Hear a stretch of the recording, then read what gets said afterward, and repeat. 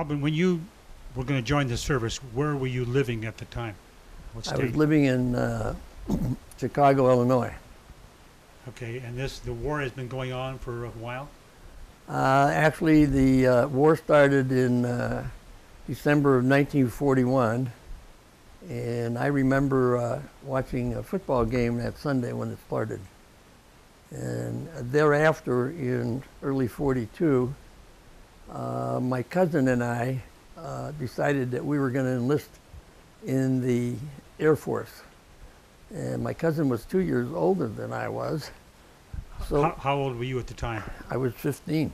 Ooh, can sneak in. So uh, I had been uh, uh, delivered as a baby by uh, a midwife next door, and the only evidence I had of a birth certificate was a baptismal certificate from the church. And my cousin and I devised a method of raising my age to 17 on a baptismal certificate, which, which sufficed.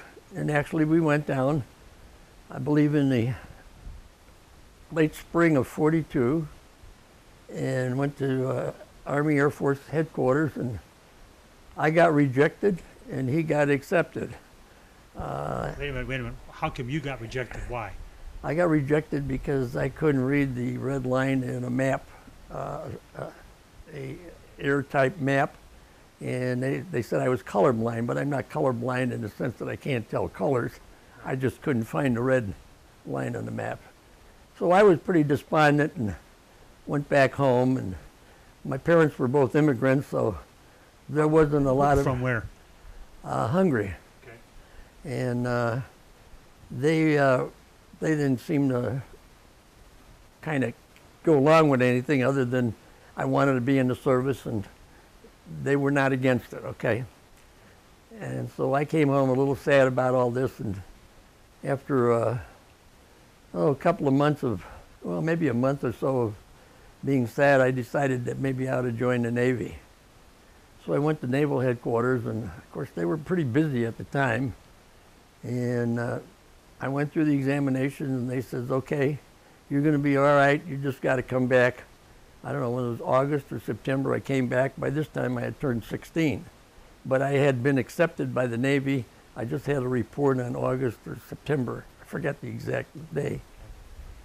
So I, when I reported, I reported with my little clothes and 25 bucks that my mother gave me, and I wound up uh, getting in the Navy and going to Great Lakes for my training. That's your basic training, the main Great Lakes right. Station. And uh, How long? That was eight weeks, or how long was that? I was e- either eight or 12. I'm not quite sure, but I never did get home from there, even though I was only 40 miles away.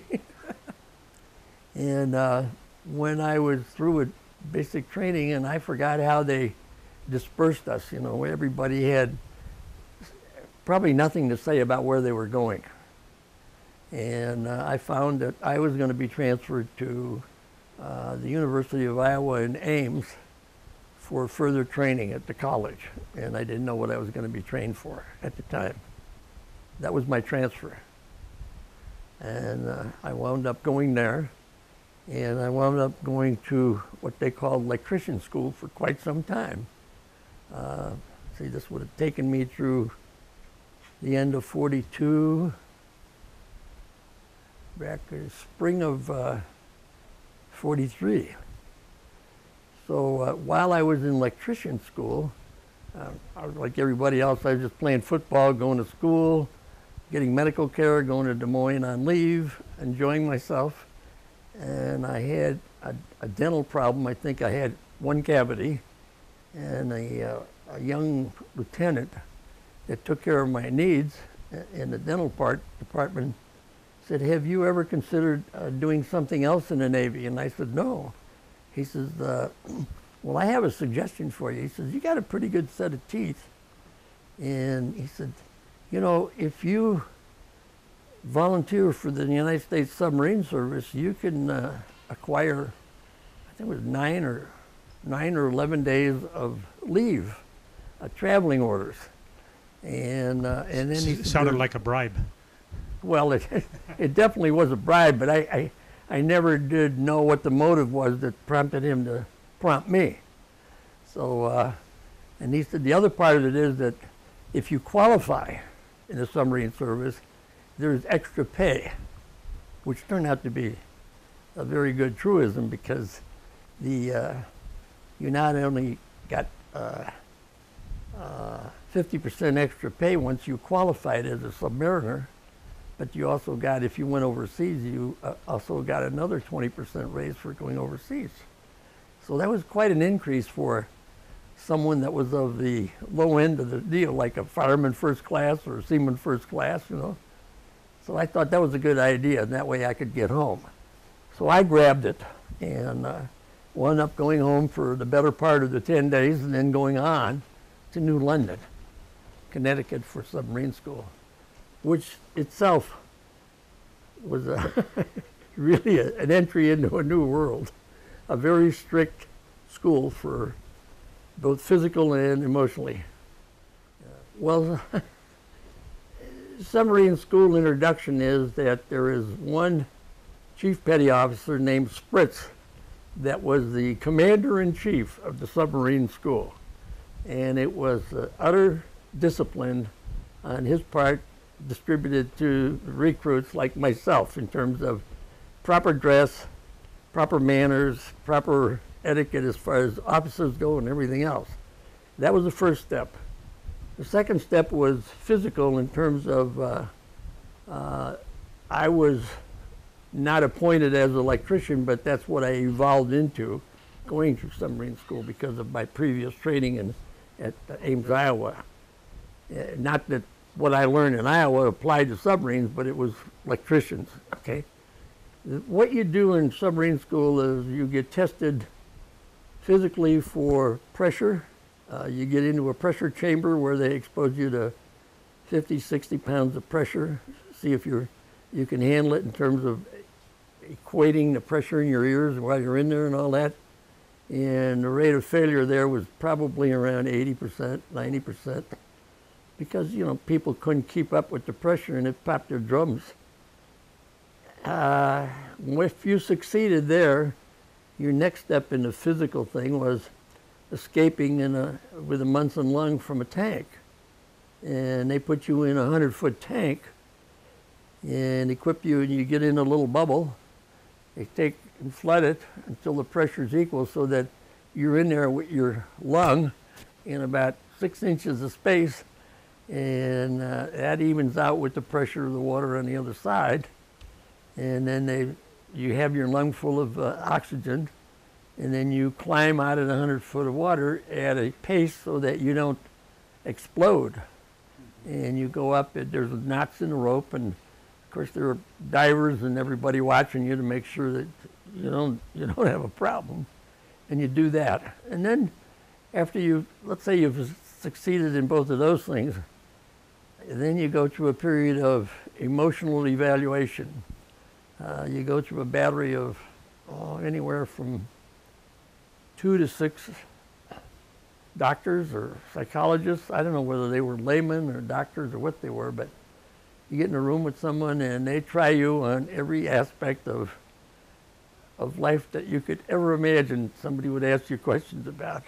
Because you're going to be confined in a small cubicle with a 80 guys, you know, for long periods of time. And uh, that was the big problem. It- I guess it is still today. And uh, you have to go through that and, and go through the emotions of, of pass, passing, so to speak. And I never knew what passing meant other than you go on to the next one and you don't have to go back to the first one. So uh, I did have one experience there. I forgot to button my pea coat one day when I was walking from one unit to another. And I passed by Chief Spritz and I had an open button. I wound up sleeping on a cement floor for four nights. That was the kind of thing it was. So the mortality rate was high, and then after you've gone through the passing of the emotions and the physical part and uh, behaving, so to speak, then you start your training in the submarine. And they had what they called S boats and O boats there that they used for training purposes What's the difference between an S and O boat? uh, age primarily. Okay. the O boats were the first submarines that were around, you know, right after World War One, I, think. And the S-boats were later built. And then we went into another class of boats, and I forgot the name of them now. But uh, it was like the boat I was on. I, I don't remember the names of them. But in any case, you start going out on sea trials and learning how to how the submarine functions when it's moving along, and you, know you you are a student, and somebody else is doing else, and, and you're watching and learning. So after you go through that training for, and, and this takes quite a while. All of this takes quite a while. So I'm into just about turning 17 now, and the upper part is 43. You know, spring of 43, and, I graduate submarine school, and I make it, and I'm one of the, I don't know, 12, 15 percent that makes it. The other 85 percent are, they used to call them. Uh, they get destroyer duty on, on Pier 92 in New York City. You know, you get assigned to a destroyer. And nobody wanted to go to this destroyer because I guess that's pretty rough Navy duty. Anyway, that's, that's, that was my next trip was that I got, I got to stop at home, but not for nine or 10 days on the way back. But I was being shipped to Mare Island for shipment overseas, Uh, Where's Mare Island at? Uh, California. Okay. All right, I, it's some, it's some uh, boat basin or sea base or whatever it was, a Navy base, and they just put us up in quarters, and you know, I laid around on canvas for a week or two, waiting until we were all assigned to a uh, troop ship, and the troop ship that we got assigned to was the uh, USS Lurline. It was a uh, passenger ship that had been converted and uh, it carried, I don't know, five, six thousand people. I mean, it was, it was interesting. So I went overseas on the Lurline with Army, Navy, you name it. I mean, it was just a bunch of people. Now, you're talking about you went through the Pacific overseas Right. I went to the Pacific, and, and it was a nonstop to, journey from uh, California right? to Brisbane, Australia. That's where I wound up being. And I don't know where the rest of them all went, but I had, you know, I had some buddies that were with me, of course, obviously. And we wound up in Brisbane and we were assigned to the submarine base in Brisbane on the Brisbane River, which I took my wife to see last 2005. I wanted to show her where it was.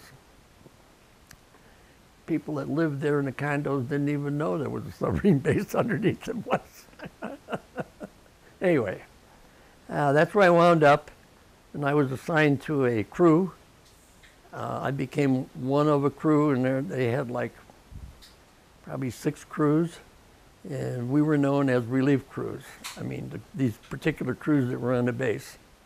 And what happened is the submarine would come in from a war patrol, and uh, all the members of that particular active submarine would get a what we called a luxury two-week leave at a hotel in town or something, and you know everything for your comfort and fun. And the relief crew would take over. We would recondition the boat, fix everything, get it ready, sail it, make sure it was all there. And then the crew would come back and we'd go back to work somewhere else and they'd take off again on another run, as we call them. So that was our duty there. And uh, emotionally, I was a little, how would you say it, disappointed that I'd spent all this time and all of a sudden, you know, I, I was crabbing in myself and I realized that I physically was 17 years old now. I turned 17 in Brisbane. And at that time, Roosevelt made a statement, you know, a public statement that uh, none of our fighting men are going to be sent overseas when they're 17 years old. We're going to make sure that uh, uh, we get more mature people out there and not send children over there to fight. So I guess I complained out loud or something or told my buddies and next thing you know, you know, somebody called me in and said, I thought you were 19. I said, no, I'm 17. Why, why did you lie? I said, I wanted to be in the service. So I got to be And I had, I had like a finger put on me that I did something wrong.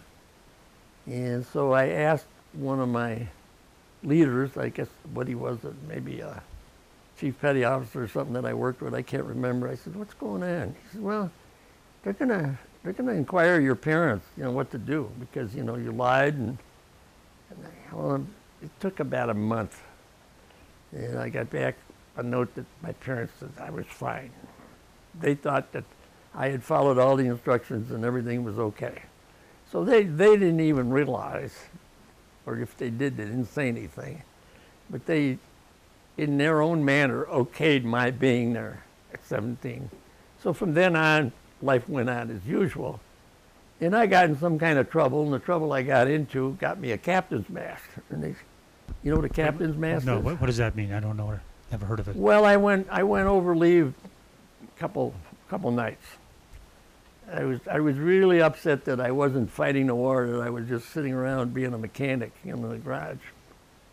And uh, the captain's mast is you go in front of the officers, and they're going to determine what the cause was and what the punishment's going to be and all of that. And, and I got the captain's mast, and the result was that I did I did a little time locally and but I got what I wanted. They transferred me to Fremantle, which is the other side of Australia, to the submarine base in Fremantle, and I got there by taking the train with 5,000 other people in the service across Australia and the big desert, which was the most interesting trip. How many hours did this take you?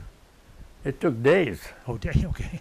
It, it's, it's a one-track train, you know, with sidings where you stop, and the, the army or whoever was running the train had, you know, cooks, and you ate, and uh, and the native people would come and uh, try and barter with you for food and show you tricks and all that. I mean, it was an unbelievable journey, and it wasn't in passenger cars; it was in boxcars. So it was an interesting trip. When I got to Fremantle, I couldn't have been there more than two or three weeks. And I was assigned to the USS Croaker submarine as electrician to go on a run. And I, I, that's when the, when the war started for me in terms of going to war. And uh, that was rather interesting. Stop. How are we doing? Doing fine. Remember, I don't have to shut it off because I can cut Oh, it in the edit and all that sort of stuff. I'm gonna have a drink. Yep. Anyway, that's Now get your drink first and then go back so we don't get the glass clinking with the microphone, et cetera, et cetera.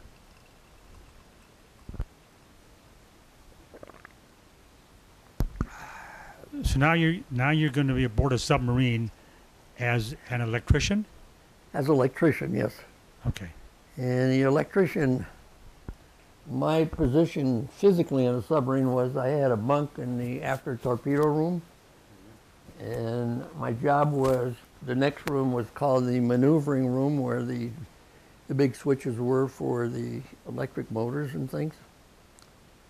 And then, of course, being on a submarine, now I finally got to qualify to get that 50%. I was getting the 20% the minute I got on or when I went overseas, but I had to qualify and get my dolphins. And dolphins are like similar to getting the wings when you learn how to fly, you know. So you got the dolphins when you had qualified that you knew how to operate every piece of machinery on that submarine. Okay? Where'd you get the training to do this then? On the submarine. On the submarine. So Yeah. you they go through all. There well, there were, some of it came while we were in submarine school. Okay, and that, that kind of counted for you. But the submarines that were in the school were not up to date like the one I was on. The one I was on was called, in, in the expression of submariners, it was called a thin skinner. And it was called a thin skinner because it, it was tested down to 400 feet. Tested. But we found out that you can go further than that and still live. And the other part of it was it was 300 feet long and it carried close to 100 people. So when I say I had a bunk in the after torpedo room, I shared that bunk with two other guys. Now, what, what, class submarine was this again? Well, it, If it's a class given name, usually call them class. yeah, uh, We'll hold on. We'll hold- figure that out. Okay. Okay, you want to know now? No, we'll figure it out later. I, We can figure it. Yeah. Now you're on the submarine. You're out. This is a shakedown cruise or normal patrol now. there were no shakedown cruises. This this submarine had been active before, and I just became a crew replacement. Okay. And uh, the first first run I made on the USS Croaker uh, was kind of exciting. Uh, in that, when we started the run, we went up along the I, I don't remember the direction. Uh, uh, Fremantle is, I, think, on the western side of Australia. We were going up along the coast and we broke off our sound gear, which is a, an extension like a periscope, but it's a sound gear that comes out of the bottom of the submarine. And apparently we hit a narrow spot and broke it off.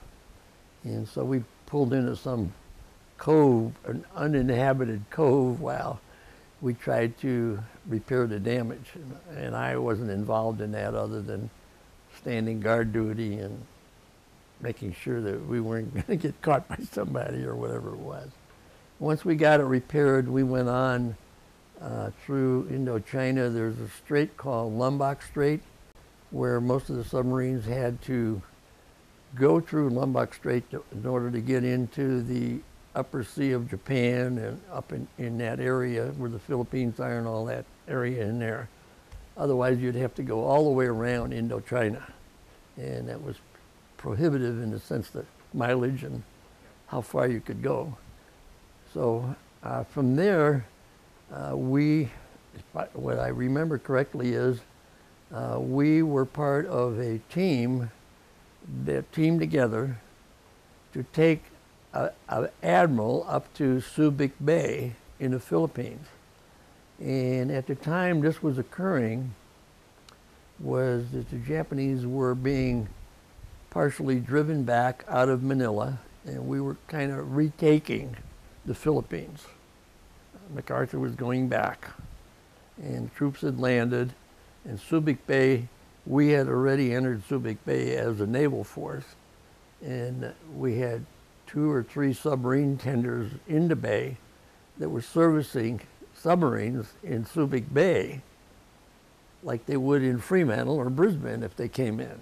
So we had another station, and we were to deliver this admiral. And I say we because we were part of it, but I don't know if we delivered him or one of the other submarines did because we played uh, the game of cat and mouse. You know, where's the mouse? You know, we had.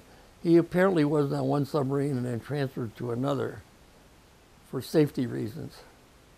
And so this occurred because we were going to go through Lombok Strait with him. Somebody was. And we all got pretty well battered going through Lombok Strait because you have to run it on the surface. And the Japanese had, and you're talking about, you know, one of the enlisted men telling you the story now. I was a talker in the after torpedo room when we were active. That was my job during war, war stations, you know. And we were running through Lombok Strait, and the Japanese had a version of our, like mosquito boats, uh, torpedo boats, and they, they were just trying to attack us. And it's 50 miles wide, but it's got a, a tremendous current, so we could not dive and hide in, in Lombok Strait. So we had to run it on the surface as a submarine, full speed, and come out on the other side where we could dive and get away from everybody. So we got, it was my one and only big experience where I got depth charged, was on the other side of Lombok Strait. And it was a game. Uh, you know, I, I'm, don't forget, I'm the 17 year old kid, and we're all sitting around, and there was more than I was not the only one that was in that age bracket. There was a couple of 18s and stuff like that. Some of the lieutenants were pretty young themselves. They were like 22. But uh, we would make bets, $100 we get sunk, things like that, you know, with the idea in mind that I never want to bet in my life. You know, that, that type of thing. And those were the kind of bad jokes, but yet the humor was there. It was a little, maybe on the dark side, but it was there. And we made it through, and, and we, we survived the depth charges. And went How did you on. how did you handle the depth charges? That's pretty well, nerve uh, wracking. I, I, you know, the submarine, whoever was in charge took us down as deep as we could go, probably 200 feet or something. And the little mosquito boats, you know, the PT boats, had a, a limited range, so it was a question of our creeping out of their range at some depth where they can't, you know, we, they probably only had two or three depth charges on each one of them, you know, if they had any. So how many did they have, you know? I, I couldn't give you a count, I don't remember, but it was, uh, it was okay. And then we, we got into Subic Bay. The Subic Bay had a, an entrance point where there was a net. They had put out a net, and we had to we had to verify by radio or something that we were coming. And uh, then we had a humorous incident where uh, a radio man, uh, we were on the surface approaching Subic Bay. We probably had already radioed our, our code, whatever it is, so the net would be open for us. And, and somebody on the conning tower called down to the radio shack and said, are we all clear? Anything, anything on radar, you know, blah, blah, blah. And this guy hollered back. You could hear him, you know, over the system. He hollered back, all clear, sir. And at, and at the moment he hollered it, you could hear a PBY go by right over the submarine. I thought, wow, he got transferred off. so our incident in Subic Bay was we tied up there were no luxury hotels to go to. A relief crew took over, and here we are. We got, you know, 80 guys that are nothing to do for two weeks. You want to know what we did? we had a couple motor machinists decided they'd go to, there was an Air Force base there near Subic Bay that we were operating on, and they went to the Air Force base and got to ride in a couple of fighter planes as tail gunners they, they volunteered and they took them. And we heard about that and we thought, well, what can we do? And Manila was an open city at the time. And somebody said, well, why don't we go to Manila and see what it's like? I mean, the Japanese are on the outer fringes of it. They were in the mountains, like retreating and shooting at everybody that was going there. And so we got arms issued, like not rifles, but yeah. pistols. And we went ashore and uh, we hooked up with an army unit that was going through this pass to Manila. And the other night, I couldn't remember the name of the pass. And she has, my wife has a, a, a friend that's married to a Filipino from Manila. And we called him, and he gave me the name of six passes from Subic Bay to Manila. And I said, well, none of those match anything that I can remember. And finally, I said, all I can remember about the pass was I'm sitting in a Jeep and I mean, you're going up one hill and then you zig down. I said, that's it. The Army named it Zigzag Pass. It was one of the passes, but they named it themselves. So we went through Zigzag Pass, and sure enough, we suffered. We suffered the sniper thing from the Japanese, and, but nobody got hurt. We went into Manila, crawled around, slept in a bombed out bank, and tried to find things to do. And uh, eventually we just gave up and got back and back to our ship and went back. And we went all the way back to uh, the ship and went back to Australia. And then we had a leave in Australia because on the way back we, I forgot what we did. We shot up a couple of sampans and Tokyo Mary, you know, it was broadcasting where our ships were and all that stuff. So what the Japanese did was they equipped some of these small ships with radio contact, and they would scream out like if they saw a submarine, they'd scream it out over the airwaves that we spotted this, and you know. So anytime we saw one, why we'd we'd uh, get within range and blow it out of the water. It was just the thing to do. So we went back and got rearmed, refurbished, and went out on another run. And uh, we got involved in a taking on a convoy somewhere on the other side in the Sea of Japan one night. Uh, we sank. It was a small DE and three cargo ships, and that happened on the surface at night. And it was kind of interesting because, uh, you know, all I did was hear about it on my phones. Now, you didn't use torpedoes, you used the, the submarine gun then? No, no, we used torpedoes. And you were on the surface? On the surface, yes. Okay. I mean, uh, that was in a torpedo attack. I mean, we spotted the ships, we tracked them. I, I don't know exactly how they did it other than what I've seen in movies now and all that, but, you know, they plotted it and they fired at it and then the DE came after us after we sank one or two of them and, and we got him and, you know, I, I remember the captain just hollering and screaming how great it felt to finally get, get the war going, you know. And that was a quick run. That was like 30 or 40 days, you know, and then bam, we're back. and then we made one more run, and it was incidental. It was, I don't remember exactly. Uh, I think we picked up a survivor on one of the runs, a Japanese guy floating in the water.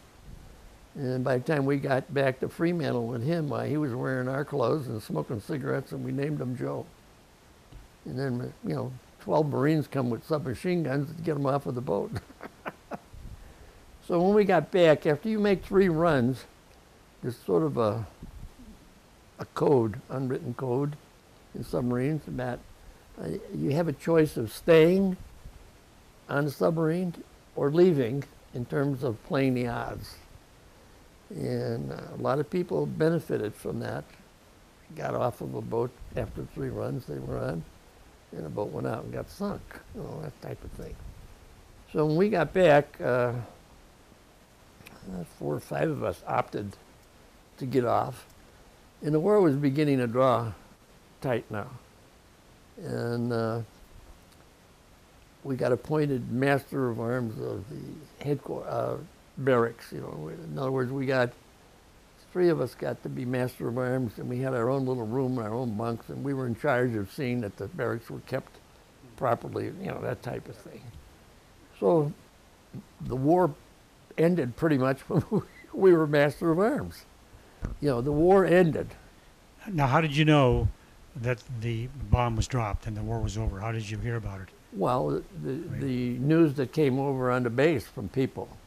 You know, I mean, uh, we had access to radio and things like that, and, and submarines were well informed of what was going on in the world. And other guys would come in off of submarines that were active and knew, you know, you had all kinds of information. So the minute it happened and there was some talk of peace, then it was a question of when will the peace occur. You know, it wasn't, it didn't happen just because they dropped the bomb, it happened afterwards. And uh, so when that happened, why, Fremantle became uh, everybody in prison was released, whether they were uh, military prison or any other kind of prison. I mean, the whole area, Fremantle and Perth. Fremantle is sort of a port town, and Perth is just up the river from it. A beautiful city, which I took my wife to also. And the submarine base isn't there, but there's a memorial, a torpedo memorial to the United States Submarine Service in Fremantle, mounted on a park. And we, we did get, get to see that. And that's about it. That's all I just remember about it. People don't remember the war. Now, when you uh, were there, where did you get shipped to? You shipped back home to the Yeah, LA well, when, when the war was over, you know, we, we, we did what we call cleanup duty. And uh, all of a sudden, people were getting orders to go here and there and there. And then uh, eventually, we got loaded on a, on a uh, troop transport. And uh, the stop from Fremantle, where we got loaded on, we went all the way to Panama on the troop ship. You- okay, because you're going to go through the canal, or Yeah, we went Okay. through the canal and uh, up the east coast and got off in uh, Portsmouth, New Hampshire. It took a while. it, was, it was an interesting trip. I think I became a chess expert on the way. how come they didn't take you to California? It was so, so much closer. I don't know the answer. See, that's the problem. I mean, I know I'm telling you the story, but, But the problem is uh, you're not well informed enough about what went on behind the scenes. That what what really was the the motive that, that drove people, or government, or whatever it was to do this or that. Well, now you're in New Hampshire. And In New Hampshire, I got assigned to a submarine called the USS uh, Sea Poacher, and it was. Uh, um, I found out that because I was an electrician, I couldn't get discharged because there was a priority on electricians, and one of the priorities was that I could speak a little German, and there was a lot of conversation about taking the, the ones that could read or write German, and I couldn't read or write it that good, but I could. Bring back German submarines to be evaluated by the U.S. Navy here in the United States.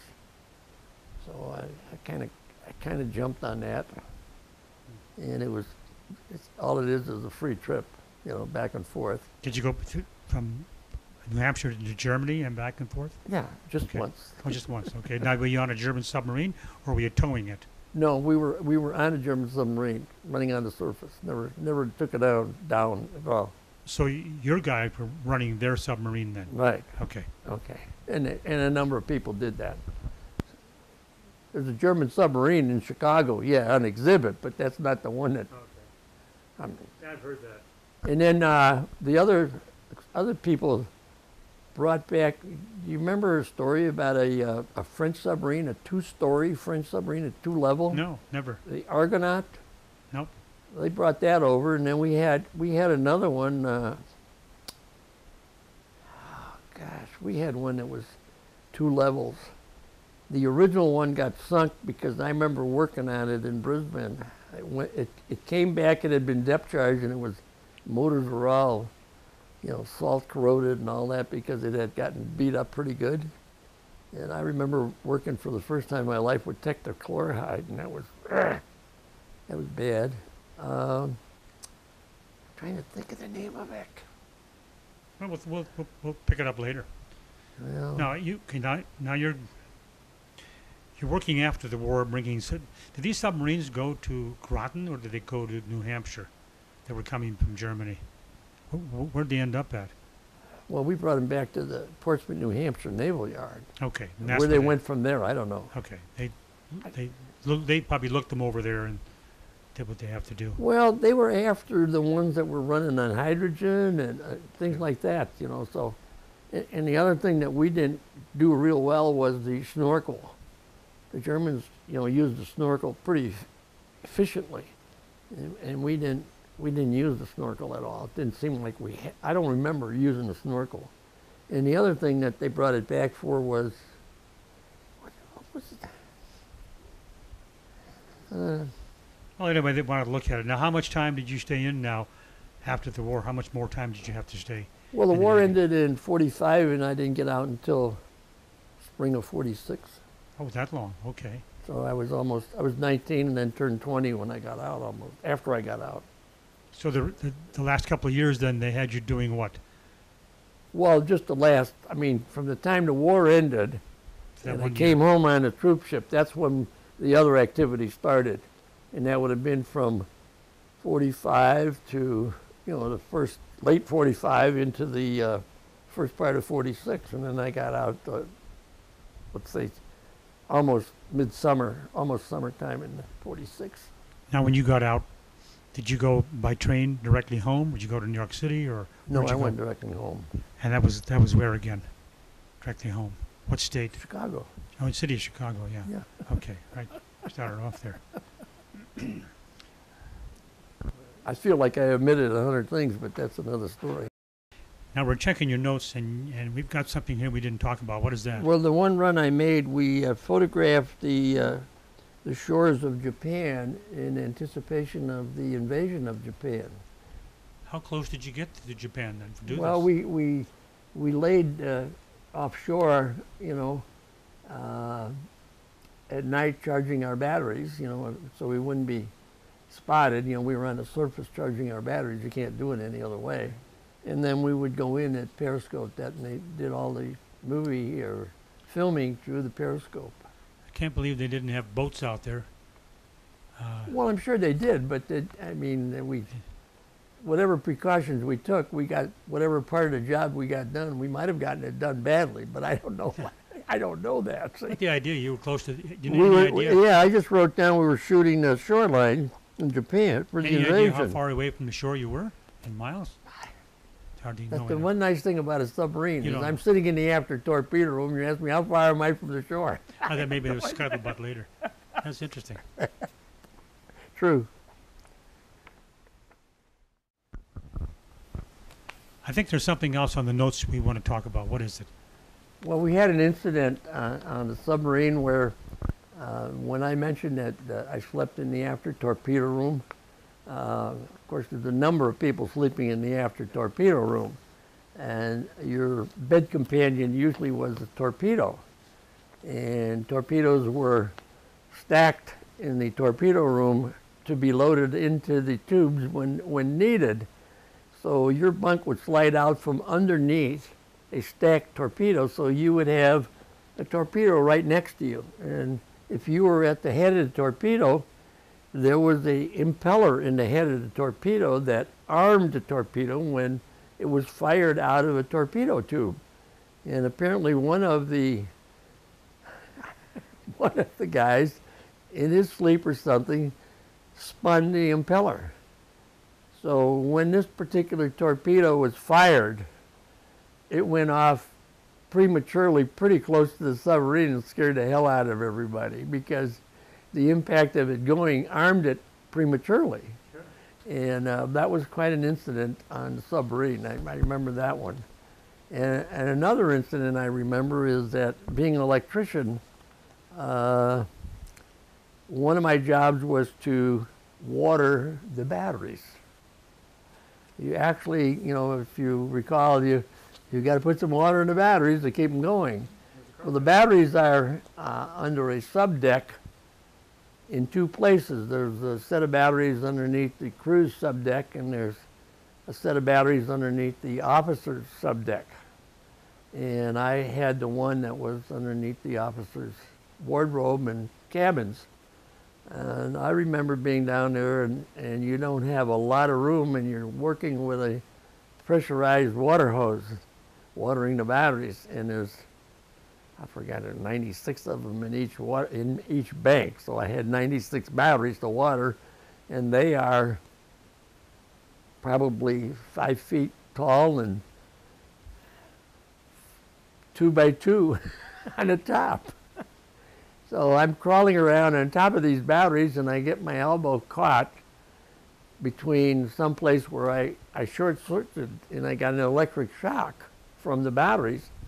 And I, I, I ripped the hose loose or ripped the handle loose and the water was spurting out where I couldn't turn it off. So I stuck my head out of the hatch into the officer's wardroom with a running hose and uh, I made the cartoon of the week. You know, fi- fi- finally somebody caught it and all that, but it was a very embarrassing moment and a very wet moment for a couple of the officers.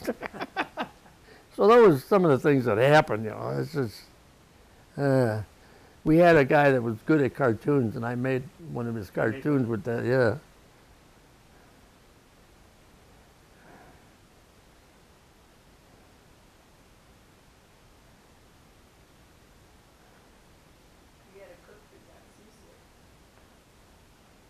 Yeah, I was discharged in late '46. Yeah, after I brought the boats back from Germany. What's this about a cook that got seasick? Was that on the submarine? food. Cooked, it was always seasick. Well, that's the same. Yeah, yeah, yeah. We had uh, when we were going into Subic Bay. Uh, uh, I told you about the, the, the radio radar guy, you know, hollering, "It's all clear," and he got fired. Even though we, he didn't come back on our submarine. And the other ones, we had a, a cook that couldn't stand the, weaving, you know, and and he he just he was sick all the time, and that got to be pretty nervy suffering for people that did have a little affliction. But I was lucky; I never had that affliction. Especially if he, he's the guy handling your food. Oh yeah. Well, we did have we had privileges that were really over and above. You know, I did get my 50% finally, and I did get my 20%. And I found out that as a third class petty officer, when I when I was third class petty officer, my pay was almost as much as a second lieutenant in the Australian Air Force. Isn't that interesting? That's an interesting comparison. How would you even? I would think you would compare it with the captain of the ship and down the line or something. No, and the reason I compared it with an Australian Air Force uh, lieutenant was that uh, I fell in love with somebody in Australia. The trouble is, the person I fell in love with was in Brisbane when I got transferred to Fremantle.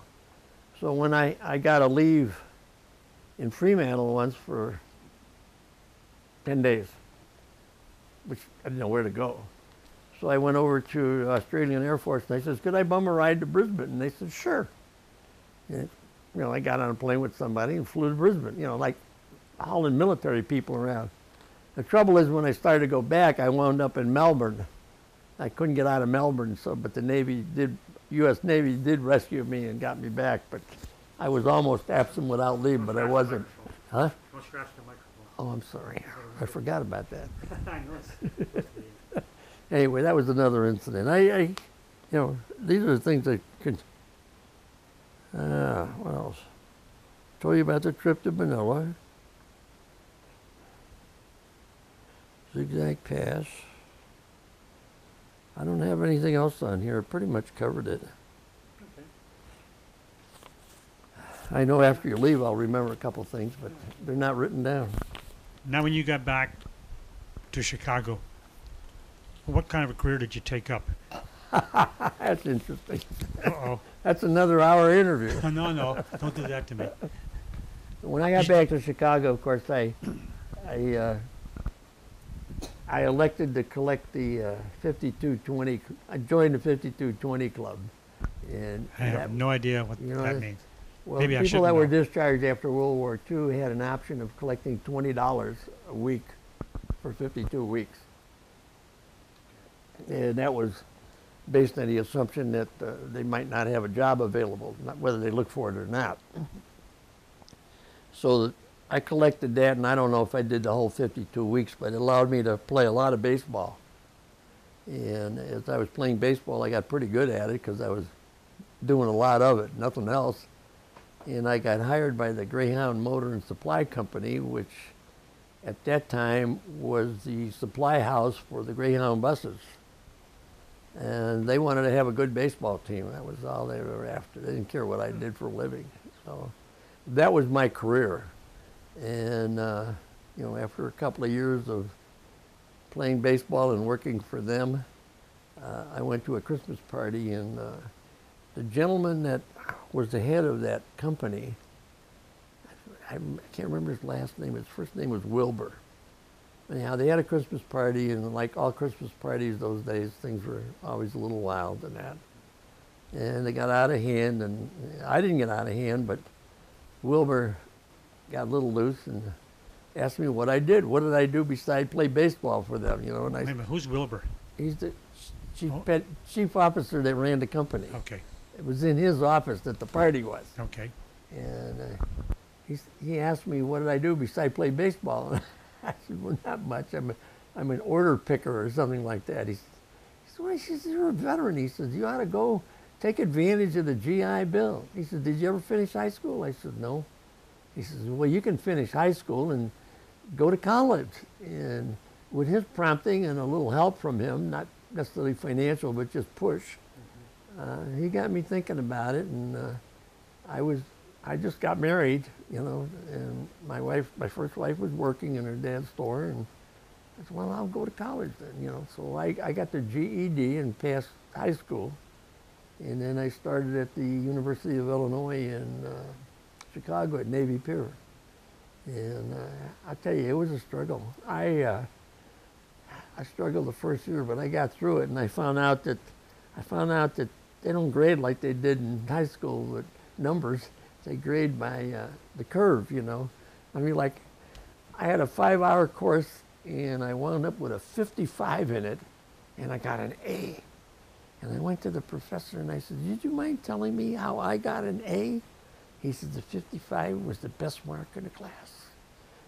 I said, well, what happens to the rest of the people? Well, they mark on a, on a curve. You know, in college, you, you knew that, didn't you? No. No? Well, not everybody does, but apparently they did. Or that's the way it was done there. But uh, in, in a lot of places, when you're in a class, uh, your class grade depends on how you react with the rest of the people in your class. An A could be a 55 or it could be a 95 if somebody had a 95. If I had a 55 and there was a 95 in the class, I would have got a D. The curve. But so, anyhow, I was happy. I got good grades and all that. So I decided that I, I better go on. And uh, so I went to the university in Champaign and decided I was going to be a CPA, which I didn't. I didn't. I got everything except I didn't practice.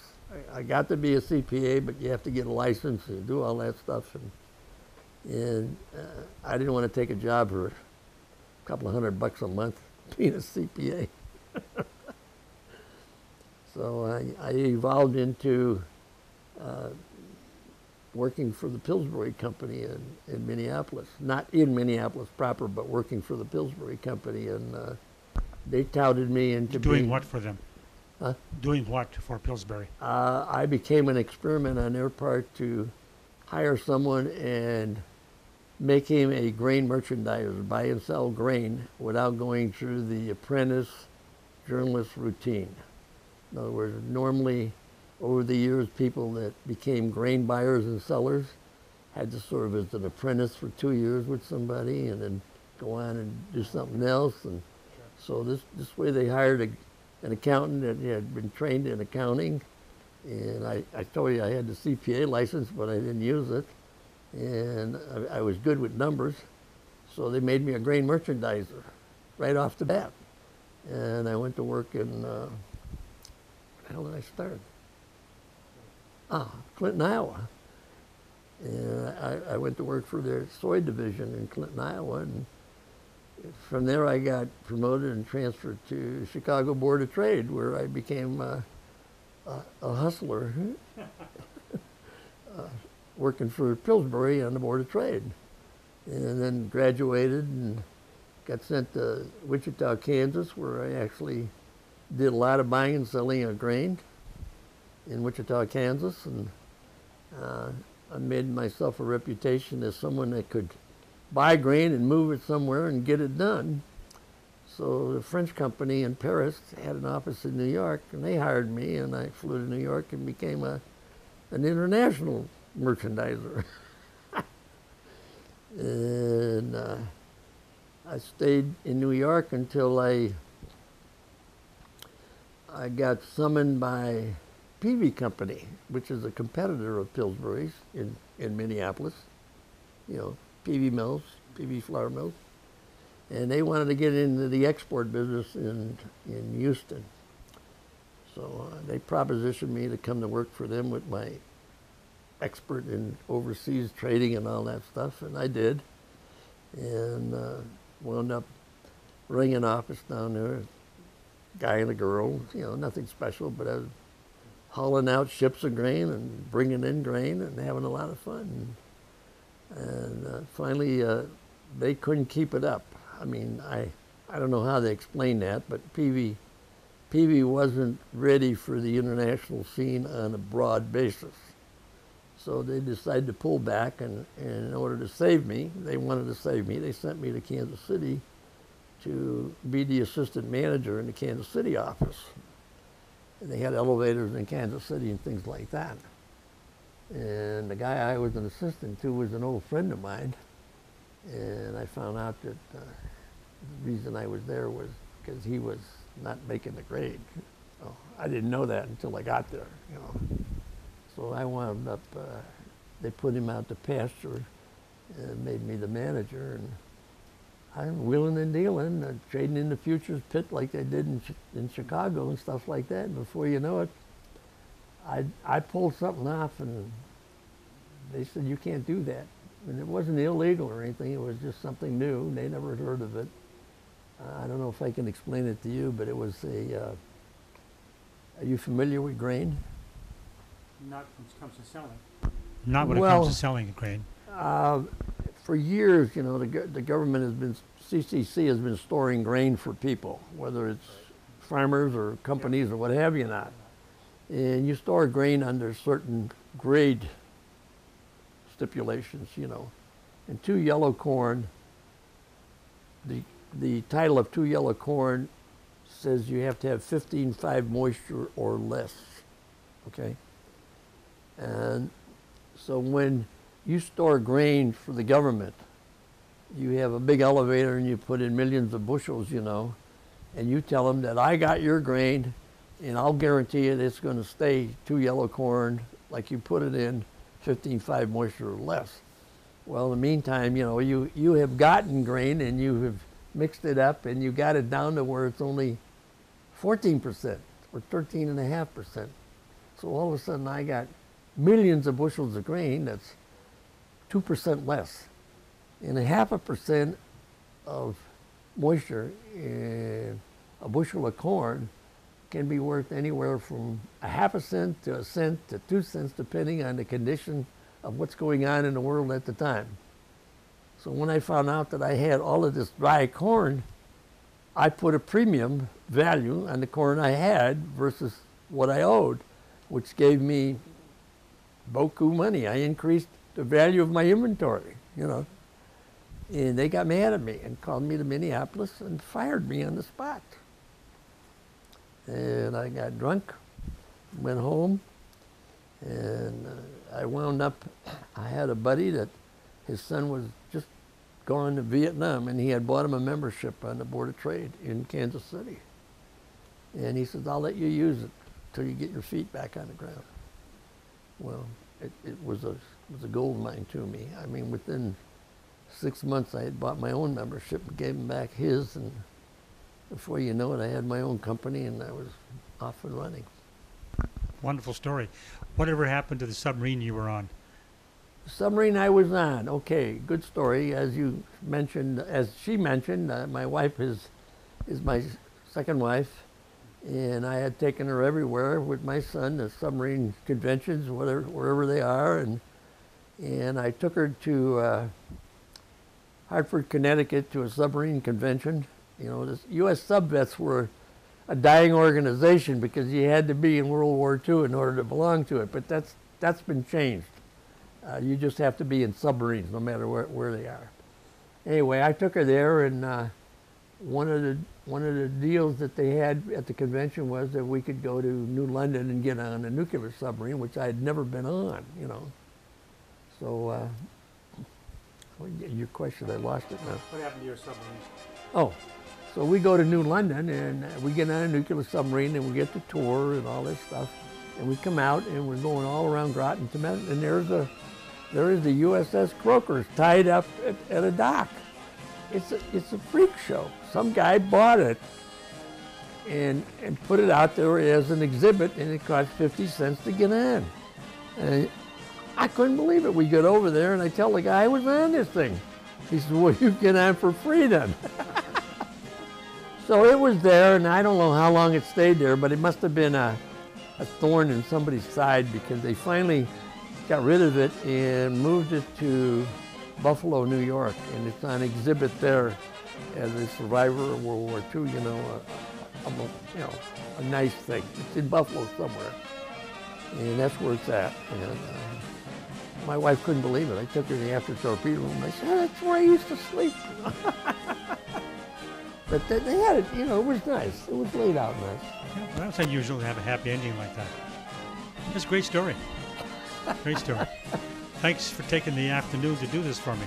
Well, I don't know. I, you know, you're going to edit it and all that, so Well, I'll be spending some time on